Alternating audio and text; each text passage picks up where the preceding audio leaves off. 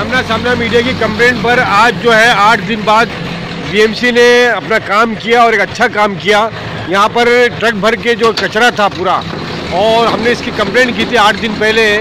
आज बांदेवली star market में उस कचरे को साफ़ किया गया, पूरा ट्रक भर के कचरा निकला है। और ये कचरा जो है मार्केट का नहीं था, बल्कि बाहर से लोग आके डालते थे। यहाँ की सोसाइटी ने कंप्लेंट किया, कोई असर नहीं हुआ। आमना सामना मीडिया ने कंप्लेंट करने के बाद में इस कचरे को यहाँ से उठाया, पूरा ट्रक भर के, कचरा था। ये बीएमसी के अधिकारी हैं, राजभर यादव जी, उन्होंने बहुत अच्छा काम किया है, ये ड्राइवर है।